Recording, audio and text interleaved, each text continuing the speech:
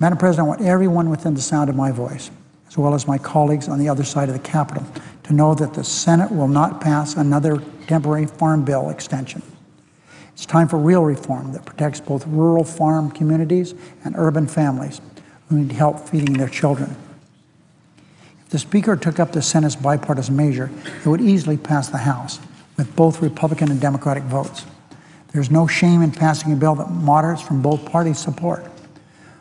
We've seen time and time again that the Tea Party's my way or the highway approach to legislating doesn't work.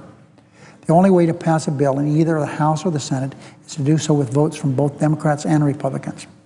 The Senate Farm Bill passed with 66 votes in this chamber.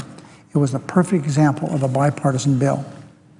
The Speaker should now allow a vote on this measure in the House now, today.